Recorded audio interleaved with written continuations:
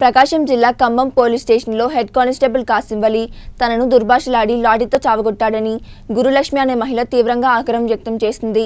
ఆస్తి తగాదాల విషయంలో రాత్రిపూట పోలీస్ స్టేషన్కు పిలిపించి అర్ధరాత్రి వరకు తనను తన భర్తను పోలీస్ స్టేషన్లో ఉంచి చిత్రహింసలు గురిచేశాడని ఆరోపించింది. ఖమ్మం పట్టణం తెలుగు వీధికి చెందిన పిల్లరి సురేష్ అతని తండ్రి కాశీశ్వరుడు మధ్య ఆస్తి తగాదాలు తలెత్తాయి. ఈ విషయంపై పోలీస్ స్టేషన్కు విచారణ నిమిత్తం సురేష్ను అతని భార్య గురులక్ష్మిని పిలిపించి చెప్పుకోలేని విధంగా దూషించడమే కాకుండా లాఠీతో చావకొట్టారని దీంతో దెబ్బలకు తాళలేక గురులక్ష్మి ఖమ్మం ప్రభుత్వ ఆసుపత్రిలో చేరి చికిత్స పొందుతుంది. నిబంధనలు పాటించకుండా రాత్రిపూట మహిళని కూడా చూడకుండా పోలీస్ స్టేషన్కు పిలిపించి చెప్పుకోలేని విధంగా దూషించడమే కాకుండా లాఠీతో తీవ్రంగా కొట్టిన హెడ్ కానిస్టేబుల్ కాసింఫరిని సస్పెండ్ చేయాలని గురులక్ష్మి డిమాండ్ చేస్తుంది.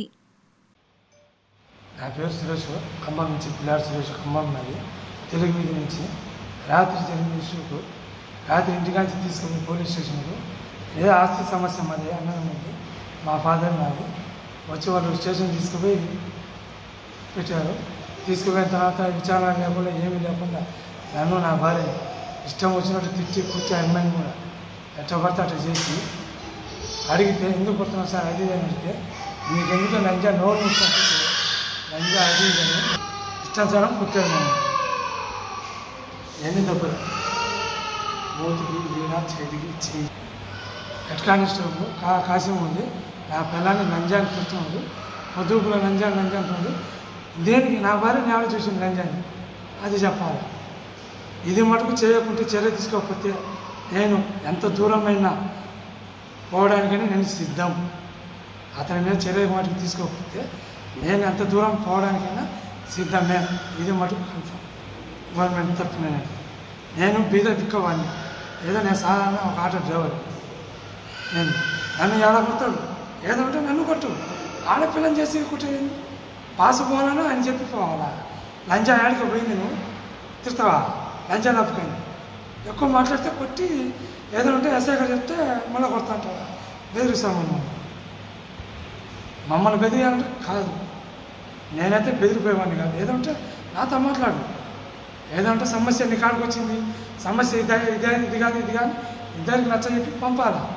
లేదన్నప్పుడు చెరుకు దెబ్బ కొట్టు. వాళ్ళ ఒక అట్టే పెడితే వాళ్ళకంటే డబ్బులు తీసుకొని మమ్మల్ని కొడతారా? నన్ను నా భార్య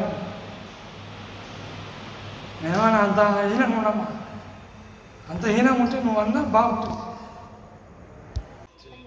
నా సార్ ఇంటికి కానిస్టేబుల్ వచ్చి తీసుకెళ్ళాడు. ఆయన పేరు కాసిం అది తీసుకెళ్ళి నాకు ఆ విచారించాలి కదా సార్. ఆ పక్కన మొత్తం మా మామ ఉన్నారు. వాళ్ళు చెప్పింది విన్నారు కదా. మేము కూడా చెప్పింది వినాలి కదా మీరు. ఏమైంది? ఏంది సంగతి అని. పట్టించుకోవాలి కదా. ఏం అనకుండా ఒకే ఇట్లా లాఠీ కర్త కొట్టావు ఎందుకు కొడుతున్నావు సార్ అంటే నోరు మీ అంటాడు. ఏ అంటాడు?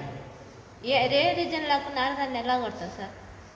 ఇప్పుడు నా భర్తని అంటే కొట్టావు పెరాలసిస్ వచ్చింది. ముఖం ముఖం మీద కొడతాను. ముఖం మీద కొట్ట కాకుండా ఏడాన్ని కొట్టాను సార్. ఏ నువ్వేంది నాకు చెప్పేది?